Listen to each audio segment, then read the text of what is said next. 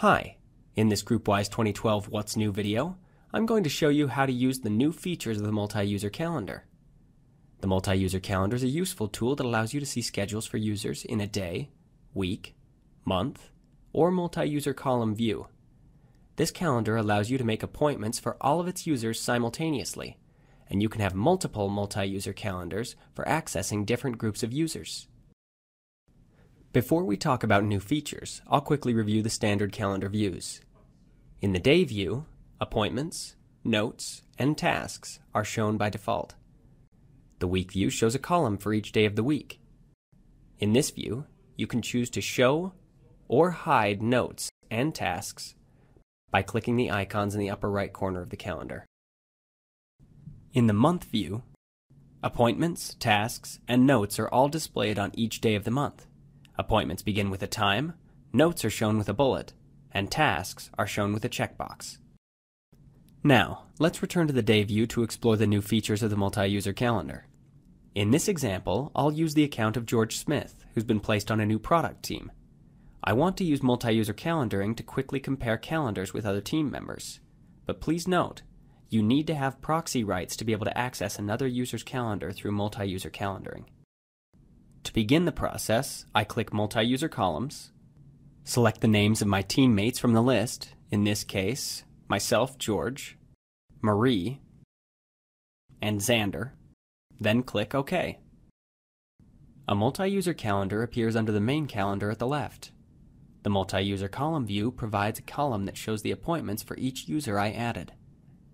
Using the color coding capabilities of the GroupWise calendar is essential to using the other multi-user calendar views effectively. For instance, if I click the day view, I can see the appointments for my teammates, but which ones belong to which person? To make my teammates' appointments easily identifiable, I can color code each person by clicking the user icon next to their name in the multi-user calendar area and selecting a color. I repeat the process for subsequent users, selecting a different color for each one. Now I can easily identify which appointments, tasks, and notes belong to which person. If I look at the multi-user calendar in the week view, I see that I can turn tasks and notes on and off as needed. All of my team members' appointments also show up in the month view. Multi-user calendars also offer another advantage by allowing me to easily schedule appointments for multiple users simultaneously. When I'm in the multi-user column view, I can drag across columns to select recipients. If I want to create an appointment for all three of these team members, I drag across their columns, right-click, and select New Appointment. The names of the selected users are automatically added in the To list. This method works for all users or a subset of users located next to each other in the calendar.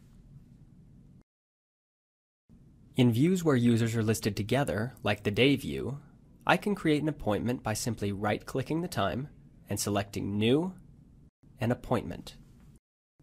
Once again, all three of the users in the multi-user calendar are automatically added to the To list. GroupWise 2012 also allows me to include other users' appointments when I view my own calendar. To do this, I select my calendar from the window on the left. When I look at the day view, I can see my own appointments, and if I look at the window to the left, the multi-user calendar is deselected by default. If I click the checkbox next to the multi-user calendar, the other user's appointments display along with my own. I can select individual users from this list to display only the appointments that I want to see in my calendar. By creating a new calendar, I can also have more than one multi-user calendar at a time. I'll start in the day view. I right-click the existing multi-user calendar, then select Rename. I rename the calendar from the default name to a new name, Daedalus Team so that I can distinguish it from the one I'm about to create. My renamed calendar appears. To make a new multi-user calendar, I right-click on the main calendar, then click New Calendar.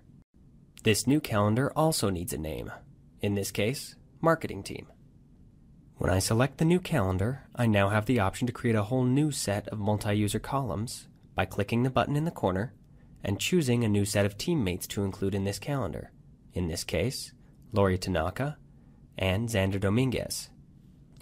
After that's done, I click OK, and I now have a second multi-user calendar called Marketing Team available from the window on the left. I can repeat these steps to create as many of these calendars as I need. When using multi-user calendars, remember, when you first define the multi-user columns view, it creates a subcalendar named multi-user. A multi-user calendar can be displayed in the day, week, and month views. You can easily create appointments for all users in a multi-user calendar.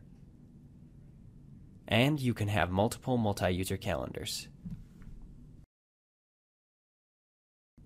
GroupWise 2012 emphasizes collaboration, and it has the features you need to keep your calendar and your team organized.